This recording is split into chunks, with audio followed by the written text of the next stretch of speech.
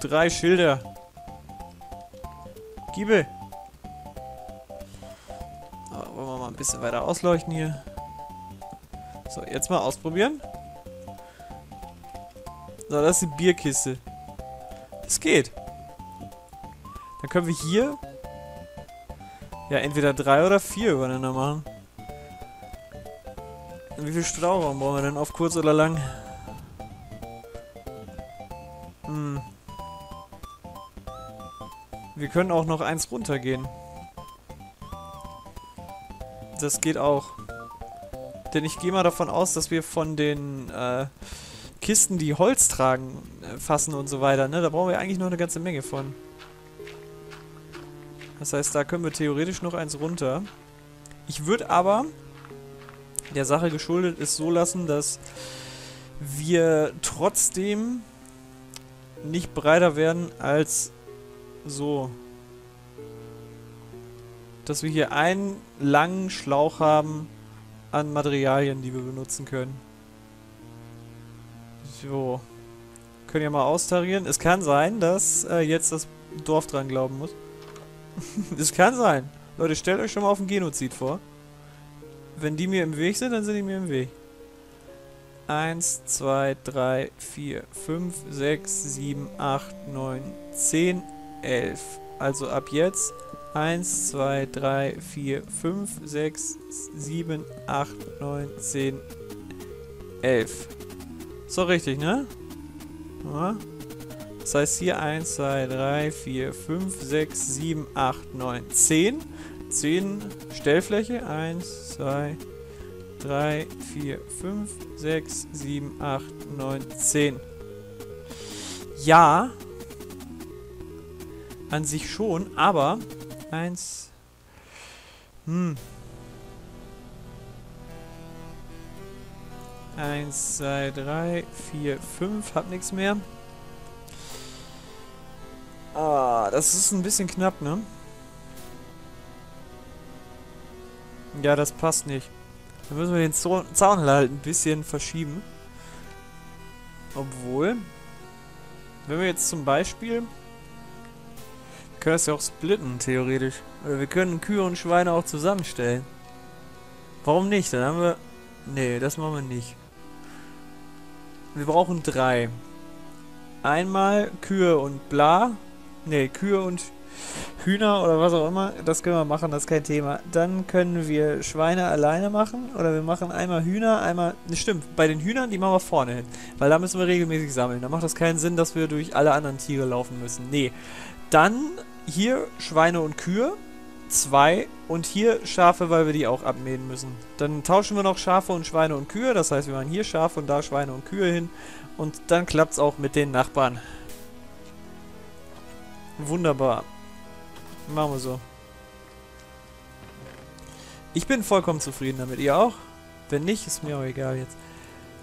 So, dann bringen wir das mal hier so rein. Gehe am besten einfach mal schlafen, damit wir hier mal ein bisschen besseres Licht haben. Direktes, nicht künstliches Licht. Einfach schönes Licht.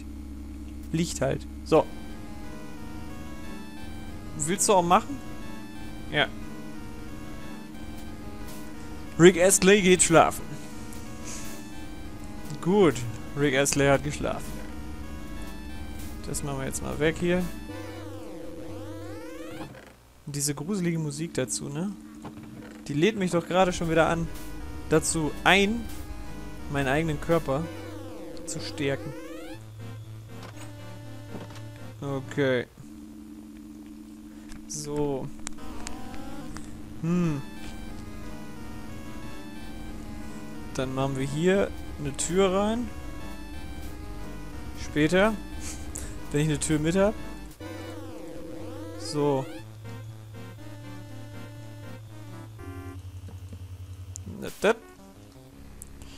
Ich kann ja das schon fertig machen hier eigentlich. Das heißt, nee, ich habe keine Schaufel mit, ne? Habe ich wieder vergessen. Ich würde mir das übrigens gerne auch mal von oben angucken, was ich hier für einen Unsinn mache.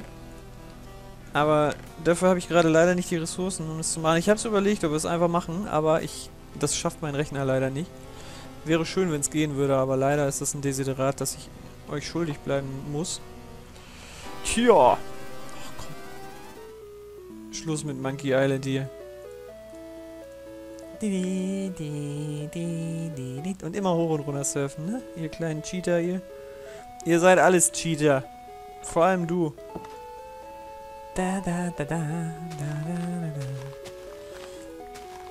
So, dann muss das hier weiter geradeaus. Irgendwann, schwöre ich's euch, hau ich die alle um hier. Aber dafür muss ich halt auch noch erstmal ein bisschen intelligenter, stärker und größer werden. So.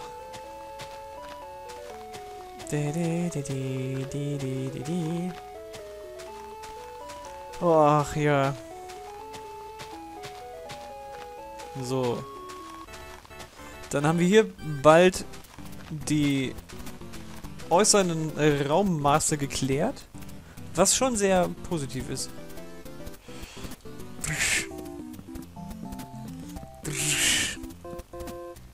So. Das ist ja noch nicht fertig. Das mache ich am besten jetzt gleich. 1, 2, 3, 4, 5, 6, 7, 8, 9, 10, 11.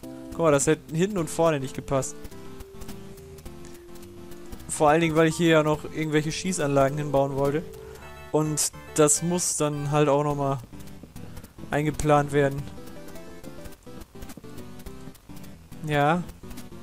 Ihr merkt schon, dieses andere Dorf hier gegenüber, das äh, grätscht mir immer mehr in meine Planung rein. Tja. Und irgendwann werden sie es spüren.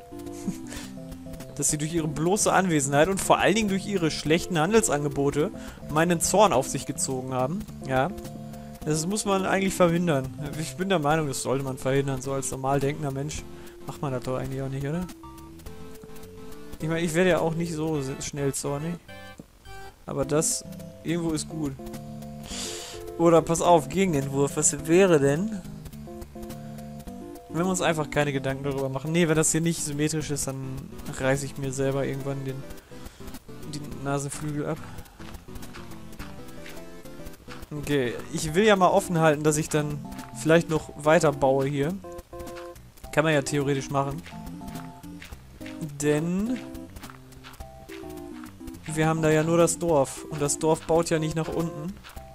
Und die sollen sich mal wagen, da meine Tunnel zu benutzen.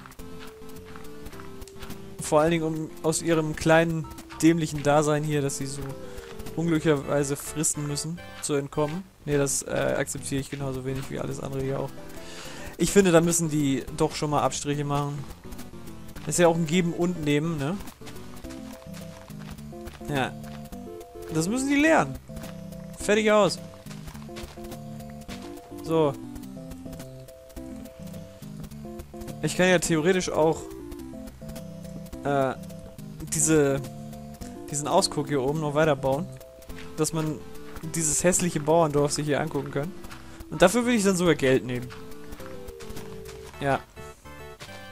Falls irgendjemand von euch fragt, wann denn der erste Gast hier auftaucht, es wird noch etwas dauern. Es wird noch etwas dauern. Wie gesagt, ich habe noch keinen Part hochgeladen. Kommt noch. Kommt noch. Und bevor ich den ersten Part hochgeladen habe, werde ich auch keinen Gast einladen. Denn ich muss ja erstmal hier auf eigenen Beinen stehen, irgendwas errichten und fertig bauen. Und ja, vor allen Dingen das Nachbarschaftsverhältnis jetzt hier vollkommen äh, mal formuliert haben. Also, dass dann jeder weiß, worauf er sich beziehen kann und worauf nicht. Also, das ist ja eigentlich schon mal äh, Schritt 1, damit das hier alles klappt.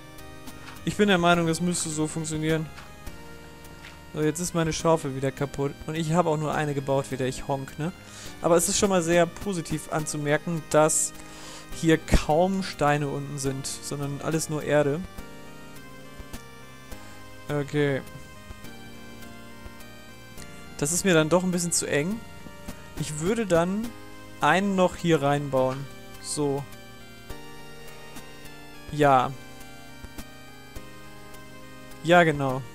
Ich weiß schon genau, wie ich das machen werde. Es läuft, Kinder, es läuft. Es rennt förmlich. Okay, habe ich noch genug Stöcker? Ja, dann bauen wir uns jetzt nochmal ein paar neue Schaufeln hier. Bang!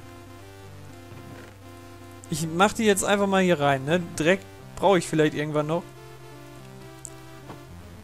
So. Da mache ich hier meinen Superofen hin. Auf den man dann direkt zuläuft, genau. Weil das sind so Gänge, die muss man häufiger machen. So wie ein Toilettengang. Okay. Dann mache ich hier erstmal alles fertig. Guck mal, das ist doch gut.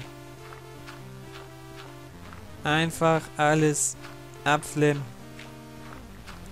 Und theoretisch könnte man hier jetzt noch ein anderes Aufganghaus bauen, wo man dann wieder hochlaufen kann. Ja, ich glaube, das mache ich auch. Aber erstmal möchte ich gucken, ob ich mit den ganzen Kisten, die ich hier verteilen möchte, zurande komme. Und ob das überhaupt äh, funktioniert, die ganzen Kisten hier hinzupacken. Ob das dann bündig ist. Wäre natürlich schön, aber das habe ich hier definitiv nicht abgezählt. Das habe ich leider noch ein bisschen verpeilt. Aber das ist nicht schlimm. Es gibt Schlimmeres im Leben als das. Hm. Und auch schön ist, dass wir hier direkt unter der Sonne arbeiten. Wir haben lange keinen Regen mehr gehabt.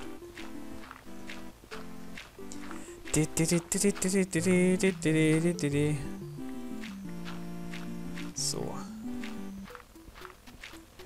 Also, mein Plan war ja jetzt, das hier noch auszustaffieren. Also quasi so. Dann das hier rauf. So.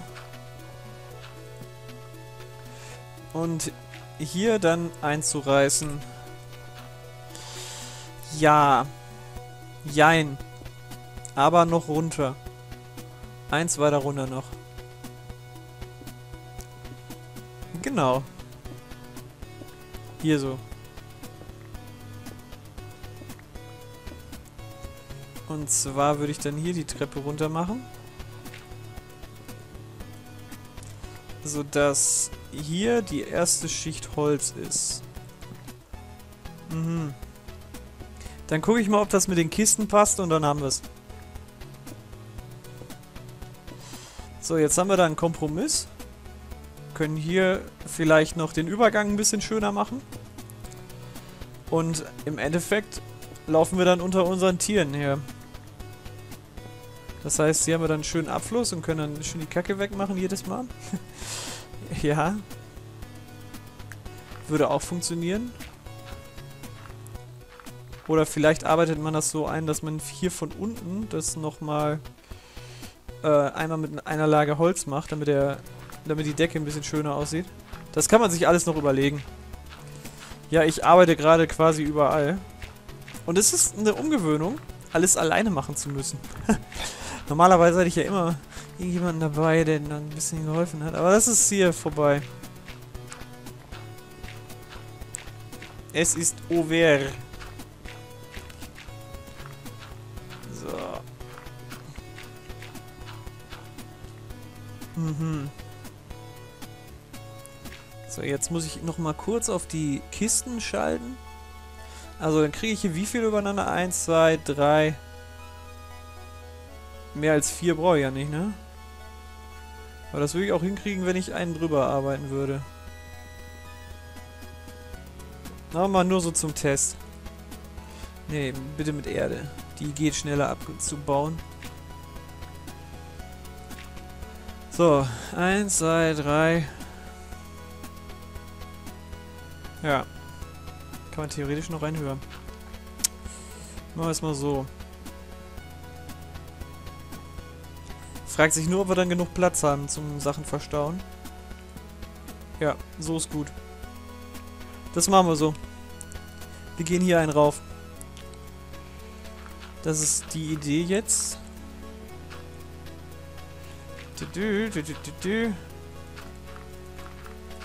Man muss es ja auch erstmal austesten, ob es funktioniert oder nicht.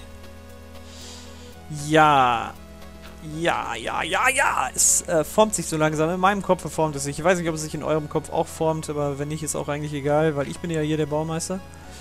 So, da müssen wir aber trotzdem dahinter nochmal alles kaputt hauen und nochmal mit Holz auspflastern, aber dann haben wir es.